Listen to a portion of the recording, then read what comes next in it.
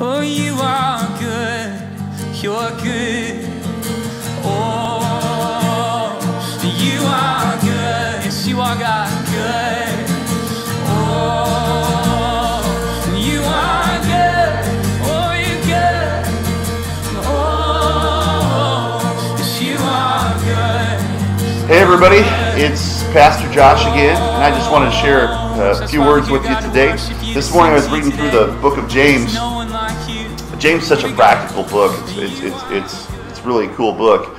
Uh, but I was reading James this morning and came across a verse that really just struck me and got me thinking about uh, just, I don't know, my life, how I am, uh, how I interact with other people, how we interact as a church with each other and with the world around us, and, and, and, and in a broader sense, how, how our culture and how our uh, society interacts with each other.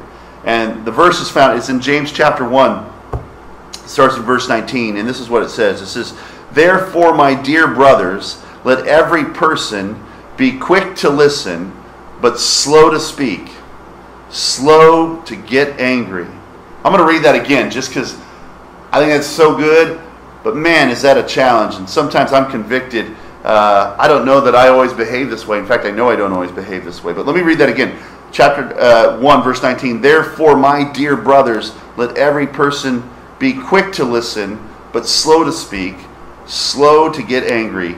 For a person's anger does not accomplish God's righteousness. It goes on in verse 21 and it says, So rid yourselves of all vulgarity and obvious evil, and receive meekly the word implanted in you that can save your lives.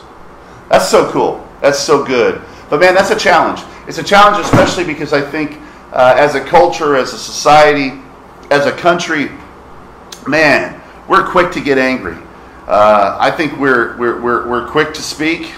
Uh, uh, we're slow to listen, and we're quick to get angry, which is the opposite of what God's called us to do.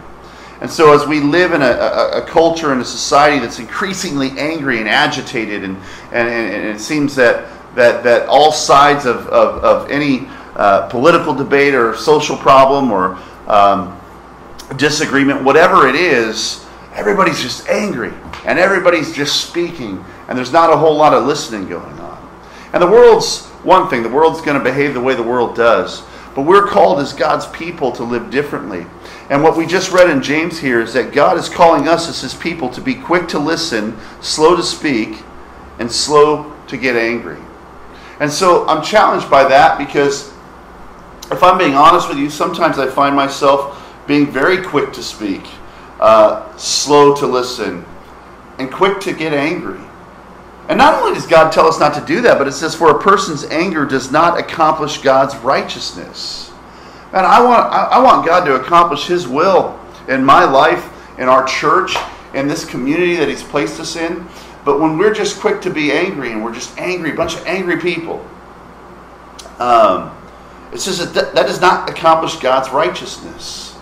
And so, my challenge uh, for me, for us today, if you're listening, is, is, is to take time first and foremost to listen to God. What does God say about things? We have our opinions and we have our thoughts on things, but, but sometimes I think it's good to just seek God, what do you think about this? What does your word have to say about this issue or this situation? And I know it's hard, especially maybe you're at work and, and, and you're in a high pressure situation and uh, uh, uh, uh, it's easy to get angry fast. And it's easy, easy to be quick to, to, to speak and not want to listen.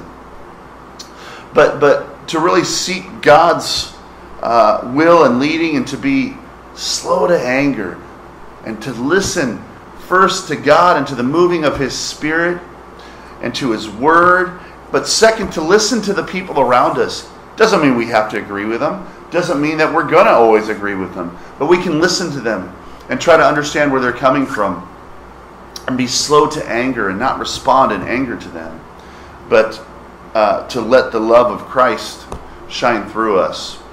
And so, I guess my challenge for us is quite simple. It's, it's, it's the words of James. Let's be quick to listen, slow to speak, and slow to get angry. Because we can trust God with that. The best advice, I'll leave you with this. Some of the best advice I ever received was from a, from a mentor of mine. I was really upset uh, a few years ago, and I felt like I was being attacked by people and uh, uh, verbally. I, I, I feel like people were saying things about me uh, behind my back that, that, that were not true. In fact, they were. They were saying things that were, were, were very false, and they were trying to spread these, uh, you know, kind of rumors, these these these these lies um, about about me. And I was so offended at that, that I was so angry, and it, it it consumed me. And it took all my energy. It took my energy away from my family. It took my energy away from the ministry that God's placed me in and the things that I believe that God wanted me to do because I was so angry and I wanted I wanted to confront that and I wanted to find all of those people and call them out.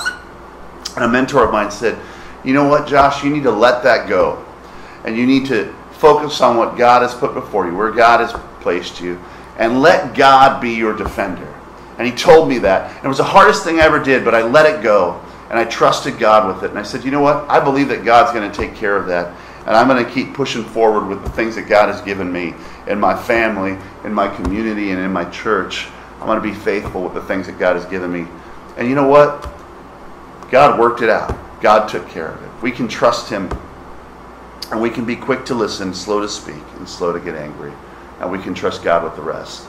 Church, friends, community, I love you. Have a great week, and I'll talk to you soon. God bless. Oh, you are good.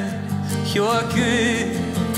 Oh, you are good. Yes, you are God good. Oh.